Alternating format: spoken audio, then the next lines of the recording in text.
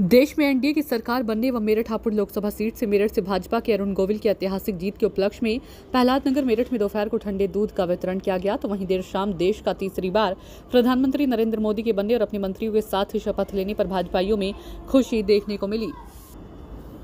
और कार्यकर्ताओं ने जगह जगह लड्डुओं का वितरण कर आतिशबाजी कर खुशी का इजहार किया।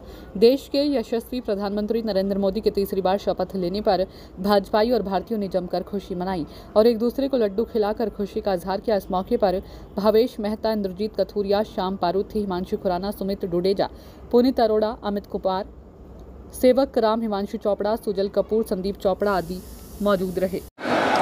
मैं नरेंद्र दामोदर दास मोदी।